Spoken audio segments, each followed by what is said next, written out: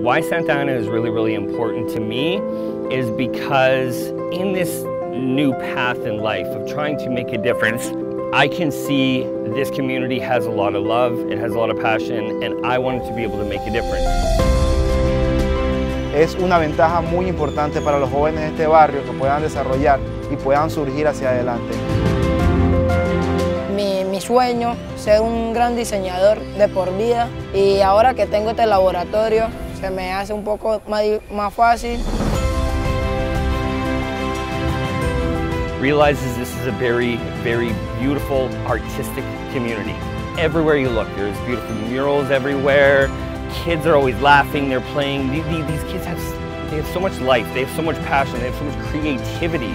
If we all follow suit, if we all tried to make a little bit of a difference in the children, the children is where the future is.